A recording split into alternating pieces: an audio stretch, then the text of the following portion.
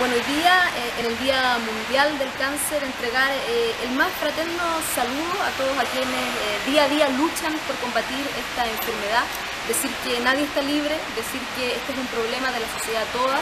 y no solamente de aquellos que padecen esta enfermedad, y decir también que aquí hoy día tenemos que asumir un compromiso, un compromiso porque aquellos que tienen hoy día este problema, esta enfermedad, y tienen familias que están apoyándolos, reciban efectivamente la garantía de un trato digno, eh, de un eh, tratamiento necesario y también eh, la mejor manera de poder proteger no solamente su propio proceso, sino de todos aquellos quienes lo rodean. Ese es el compromiso de todos quienes vemos en esta enfermedad un problema social de, un país, de una sociedad, del mundo y que debemos venir a fortalecer este trabajo a través de debates, a través de garantías, desde el Estado, desde el mundo de la sociedad civil y por supuesto avanzar en que podamos trabajar en conjunto esta temática.